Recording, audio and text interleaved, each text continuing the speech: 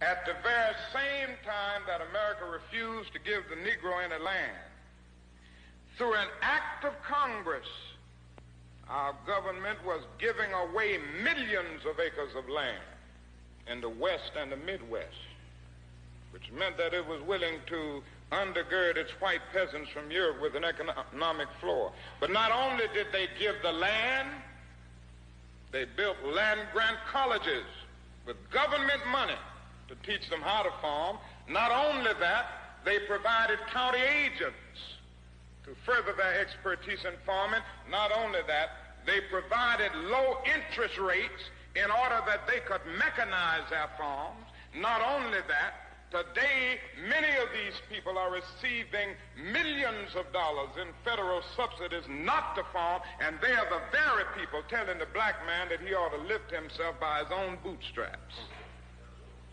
And this is what we are faced with. And this is the reality. Now, when we come to Washington in this campaign, we are coming to get our check.